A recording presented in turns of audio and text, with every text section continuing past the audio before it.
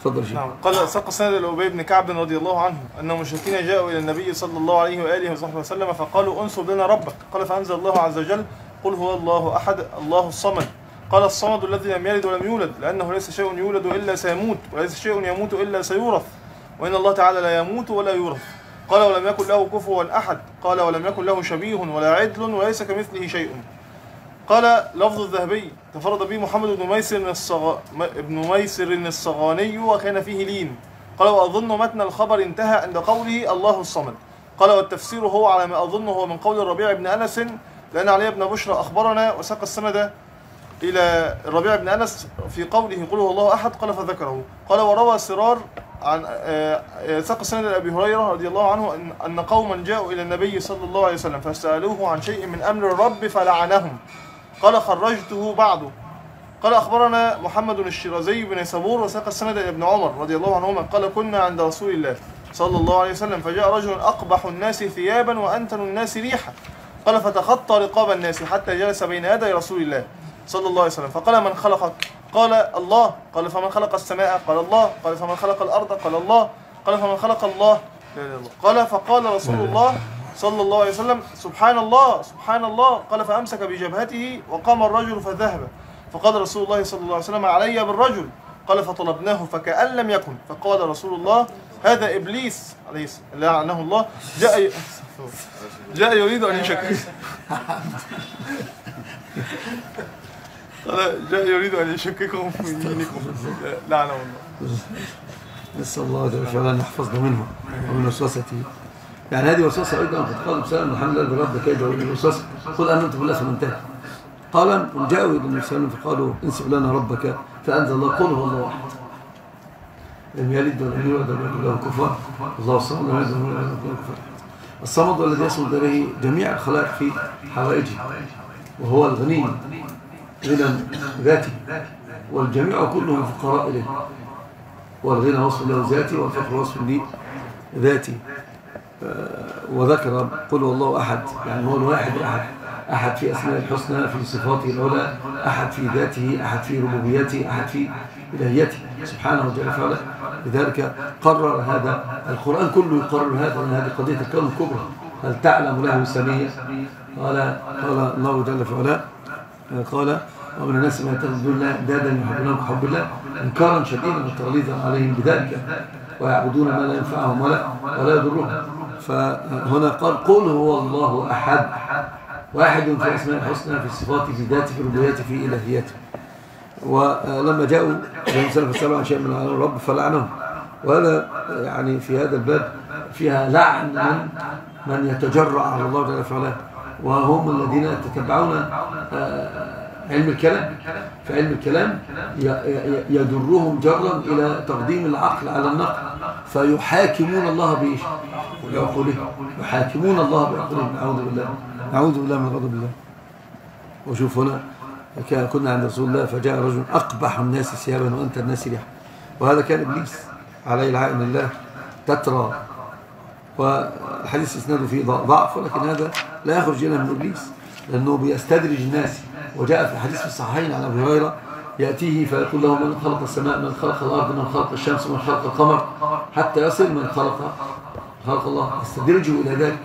لذلك النبي صلى الله عليه وسلم قال قل آمنت بالله ثم انتهى ثم انتهى.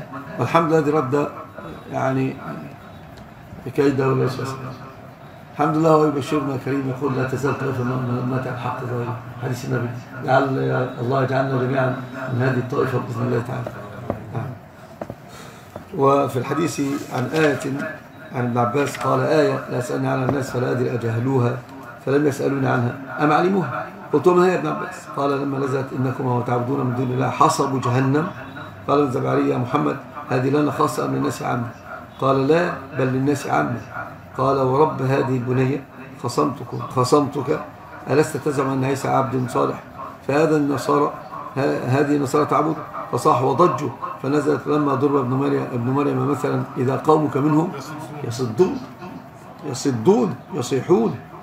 نعم.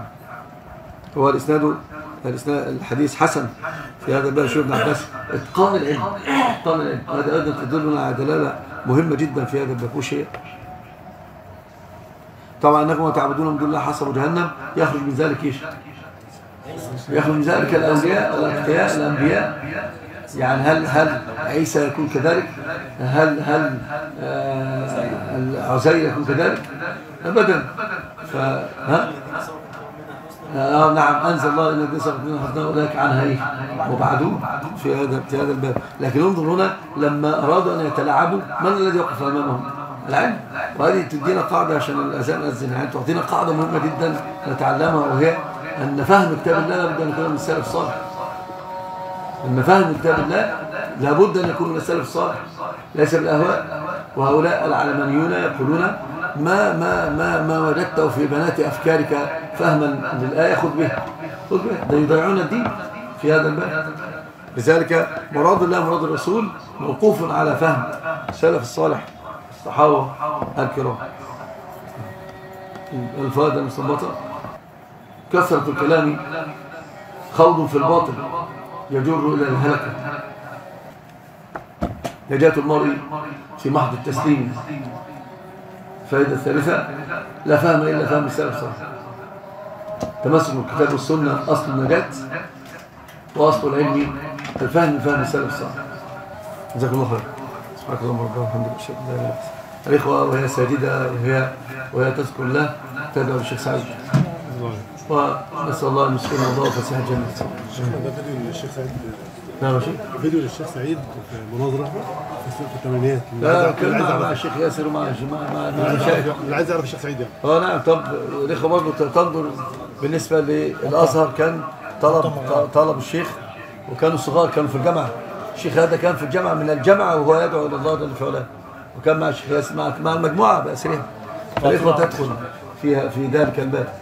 تدخل في هذا الباب تشوفه عشان تعلم من هو الشيخ سعيد الجهل به نقمه يا طالب العلم قم لا تنم فإن الزمان أيا طالب العلم قم لا تنم فإن الزمان انقضى وانصرم. فكن ما حييت ضنينا به فظنك بالوقت عين الكرم. وكن حلس درسك وافرح به. تكن قائدا في غد للأمم. وبادر شبابك من قبل أن يقطع عزمك سيف الهرم.